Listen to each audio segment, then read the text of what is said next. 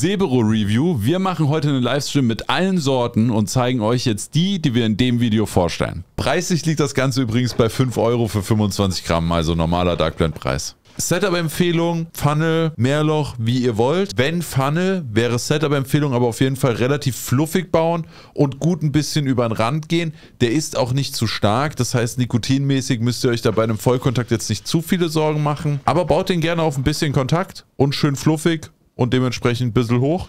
Das scheint dem sehr gut zu tun, was die Flavor angeht. Ich habe mir den Buratino geschnappt und das soll eine reife Birne mit einer spritzigen Guave sein.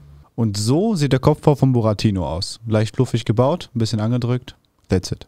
Der Buratino soll ja Birne sein und so einen Hauch Guave noch enthalten. Und ich muss sagen, die Birne hier sehr süß. Und eigentlich dachte ich, dass die Guave das so ein bisschen mit rausnimmt, ist aber hier gar nicht so.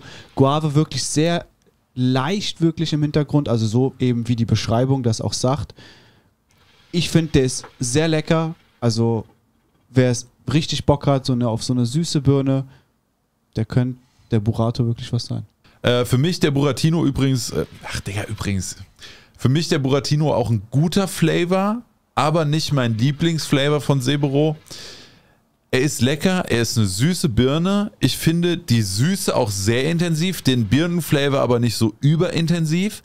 Die Guave schmeckt man auch raus und kontert das ein wenig, aber wie Hasti schon sagt, bleibt er auf jeden Fall trotzdem sehr, sehr süß. Also für mich ein guter Flavor, aber haut mich jetzt nicht geisteskrank um. Ja, ich muss mich da anschließen. Äh, süße Birne. Die Guave könnte für meinen Geschmack auf jeden Fall noch ein bisschen mehr in den Vordergrund rücken. Die ist wirklich nur ganz leicht im Hintergrund und dadurch bleibt der Flavor hauptsächlich süß. Aber grundsätzlich ein sehr solider Flavor. Ich finde es gut, dass es eine authentische Birnennote ist und könnte ich mir ganz gut einen Mix vorstellen. Das war unser Review zu dem Flavor. Schreibt gerne mal in die Kommentare, falls ihr ihn probiert habt, wie ihr den findet. Ansonsten Daumen nach oben, Abo da lassen, bei den Jungs vorbeigucken. Bis zum nächsten Video.